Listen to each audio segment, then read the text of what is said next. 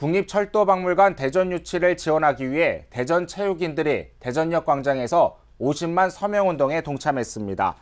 대전시 체육회와 장애인 체육회 관계자 등 200여 명은 50만 서명운동과 전담 배포, 가도 캠페인 등 국토교통부가 건립 추진 중에 있는 국립철도박물관을 대전으로 유치하기 위한 당위성 홍보에 적극 나섰습니다.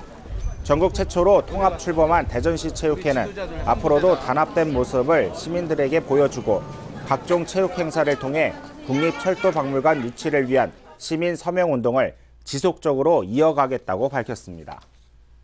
이 유치로 인해서 우리 구심 대전시의 발전은 물론 고도심까지도 상당한 경제적인 효과도 있을 것이고 또 자라나고 있는 어린이들도 이 박물관이 오므로 해서 교육의 장으로 상당히 그 활용 가치가 있다고 생각이 됩니다.